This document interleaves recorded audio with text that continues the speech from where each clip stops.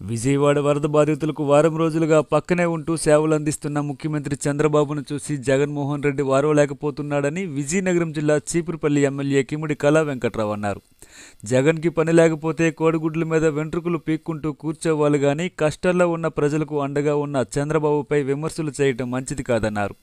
Cheepurupalli Telugu Desam party కార్యాలయంలో విలేకరుల సమావేశాన్ని ఏర్పాటు చేసిన ఆయన జగన్పై విరుచుకుపడ్డారు. అధిక వర్షాల కారణంగా ప్రజలు అల్లాడుతుంటే బాధితులకు అండగా ఉండకుండా జగన్మోహన్ రెడ్డి మాట్లాడే మాటలు చూస్తుంటే మాటలు బారెడు చేతలు మోరుడు అన్న చందంగా ఉన్నాయని మండిపడ్డారు. ముఖ్యమంత్రి సహాయ నిధికి కోటి రూపాయలు విరాళం ప్రకటించిన జగన్మోహన్ రెడ్డి ఆ మొత్తాన్ని తానే ఖర్చు పెడతాననడం విడ్డూరంగా ఉందన్నారు. ఈ కార్యక్రమంలో చీపురుపల్లి మాజీ ఎంపీపీ రౌతు కామునాయుడు గౌడి నాగరాజు దన్నాన రామచంద్రుడు జనసేన నాయకుడు కోట్ల కృష్ణ పాల్గొన్నారు. పాటలో ఉండి మద్రాసు నుంచి వెయ్యి మందిని ఒక రెజిమెంట్ని తెప్పించారు. ఆర్మీని. ఆయన రెండుసార్లు రెండు సార్లు ముఖ్యమంత్రి మూడు సార్లు మధ్యప్రదేశ్ ముఖ్యమంత్రి చేసి ఇప్పుడు అగ్రికల్చర్ మినిస్టర్గా ఉన్నటువంటి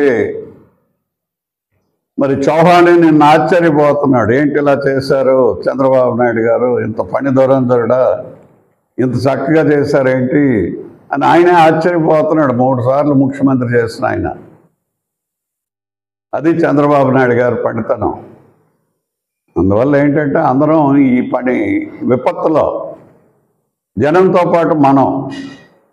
ఆంధ్రప్రదేశ్కు విపత్తు వచ్చిందనే పద్ధతిలో ముందుకు సాగాలి తప్ప కోడిగుడ్లకు వెంట్రుకలు పీకేటటువంటి పరిస్థితులు ఒకరో ఇద్దరు మాట్లాడుతున్నారు. అది మానుకోండి అది పద్ధతి కాదు. మీరు కూడా ఏదైనా ఉంటే సహాయం చేయండి. ఆపదలో ఉండే వాళ్ళకి మీరు కూడా సహాయం చేయండి.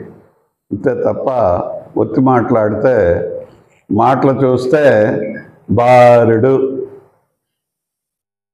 అమ్మ భోజనం అంటే మూడుకి తగ్గిపోతుంది. కోటి రూపాయలు ఇస్తారట వాళ్ళే ఖర్చు పెడతారట. ఏటి ఇస్తారండి? కోటి రూపాయలు ఇచ్చారట వాళ్ళే ఖర్చు పెడతారట. అది వాళ్ళ పనితనం. దాన్ని కూడా విమర్శించక్కర్లేదు ఎవరి పని వాళ్ళకి ప్రజలే చే- తీరుస్తారు చూస్తున్నారు కాబట్టి ప్రజలే తగిన సమయంలో మాట్లాడతారు. కానీ ఏంటంటే అది ఒక పనిగా మాట్లాడి అదొక వెటకారంగా ఇచ్చినట్టుగా కనపడుతుంది తప్ప మరి చిత్తశుద్ధితో ఉండేటట్టుగా జగన్మోహన్ రెడ్డిలో కానీ మరి ఆయన తరఫున మాట్లాడినటువంటి వ్యక్తుల్లో కానీ అది కనిపించట్లా.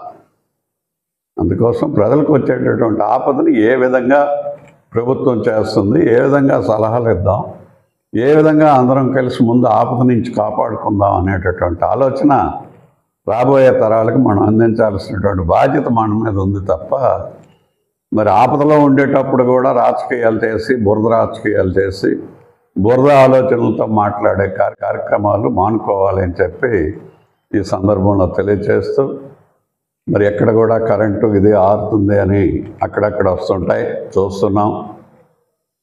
ఈ వర్షాకాలంలో సహజం. గాలి ఎక్కడైనా వీచినప్పుడు ఎక్కడైనా కొమ్మ తగిలినా లేదు నీరు ఎక్కువగా ఉండేటప్పుడు కరెంట్ చాలా డేంజర్. ఒక దగ్గరగానే పడిందంటే ఆ తడి ఉన్నంత వరకు కూడా వెళ్ళిపోద్ది కాబట్టి అందుకోసం మనం ఏంటి కరెంట్ ఆపేశాడు అనేటటువంటిది కాకుండా ఇలాంటి విపత్కరమైనటువంటి పరిస్థితుల్లో నీటిలో కానీ ఇట్లలో కానీ కరెంటు వాళ్ళకు కూడా మనం సహకరించి విద్యుత్ని కూడా ముందుకు తీసుకువెళ్ళాలి. ఎందుకంటే ఏ లాస్ అయినా పర్వాలేదు కానీ హ్యూమన్ లాస్ జీవితం తేలేం మనం.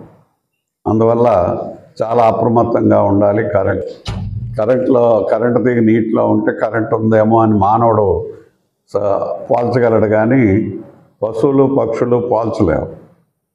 అందుకు అలాగ కూడా నష్టం జరుగుతుంది కాబట్టి ఈ ఎక్కువ ఫ్లడ్స్ వచ్చేటప్పుడు ఎక్కువ వానలు బాగా పడేటప్పుడు ఎటు నుంచి ఏం వస్తుందో తెలియదు కాబట్టి మనం అన్ని విధాలుగా ప్రజలందరూ జాగ్రత్తగా ఉండాలని కూటమికి చెందినటువంటి వాళ్ళు మరి నాయకులందరూ కూడా కార్యకర్తలు కూడా ప్రజలతో మమేకమై ప్రజలతో ఉండి ఏ ఆపద వచ్చినా ప్రభుత్వ పరంగా ఆదుకోవటానికి ప్రభుత్వ యంత్రాంగానికి మనం సహాయం చేస్తూ ముందుకెళ్ళాలి అని చెప్పి మరొకసారి అందరినీ కోరుతూ thank you thank you very much